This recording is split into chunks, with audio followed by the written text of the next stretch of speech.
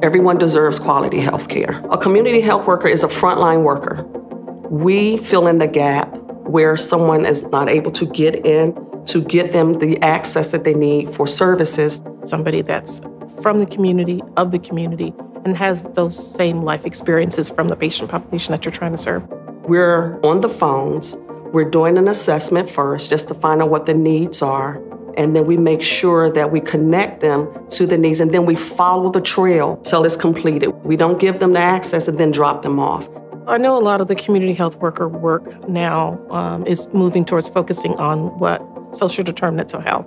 Those are the things that impact your health the most. And if there's not a balance between providing care of inside the medical wall with the care that's provided outside the medical wall, whether that be health literacy, navigating the healthcare system, teaching the patient how to read, nutrition, clothing, interpersonal violence, marrying the two, the medical world with the uh, environmental factors that's happening with a patient are the things that's going to produce the best outcomes for a patient.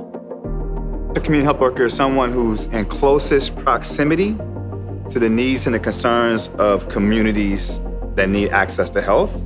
And they serve as a liaison between the community and health systems. When you have a community health worker that beyond the 15 minute overall check-in that they do with the actual client, medical physicians really can't go into what's going on in the home. A community health worker can then also inform that physician what else is going on inside the home that may be impacting that particular patient's life.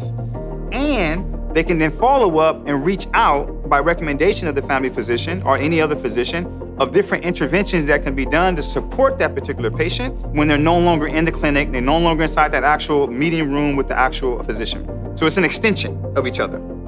So our community health workers help us understand the environment that the patients are coming from. Most providers have not actually been trained to work in an interdisciplinary fashion for us to really be able to achieve um, the best outcomes or to help our patients and our communities achieve their, be their best health outcomes and hopefully their best health, we're going to have to get outside of the clinic walls to address those social determinants of health. Trust matters a lot for when you're talking about community health workers um, because you're trying to get in to find out what seriously the root cause analysis is. I think trust starts with culture, and everyone's background is different, and how they were developed in their homes, how they were taught. I think culture is, is the key factor for the trust and history. History can repeat itself. I think as a community health worker, we can be a key role to change history to change the dynamics of how culture perceive where we are now.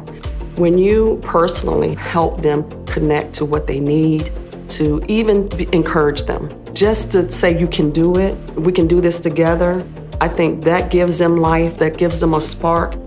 The thing I love most about my job as a community health worker is the ability that I'm giving to disrupt barriers as it relates to getting resources and getting more quality health to the communities that I represent and the communities I serve.